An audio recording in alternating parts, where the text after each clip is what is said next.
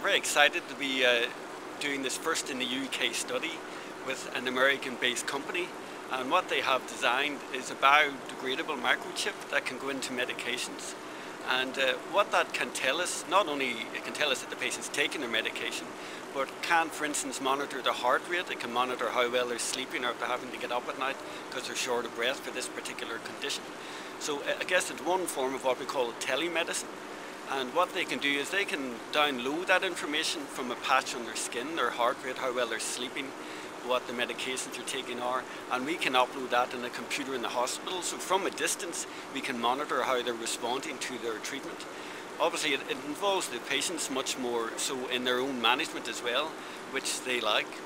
But again, the idea is that in the future we'll be able to monitor patients' response to treatment at home and we can see subtle changes that might indicate that things aren't going the way we would like. We can phone them up and go out or visit them and change their medication. So the idea is to keep them safer and comfortable at home and reduce their need for having to come to hospital acutely.